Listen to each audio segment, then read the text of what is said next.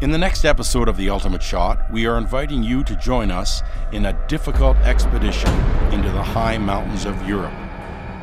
The beautiful panoramas and the breathtaking views and scenery is a special place for a hunter to track down the chamois in our quest for the ultimate shot.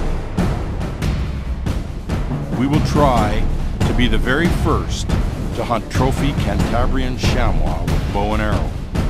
Known as the Cantabrian Devil by the Spanish hunters, this chamois makes its home above the clouds on the vertical and unscalable rocks and cliffs that are its home.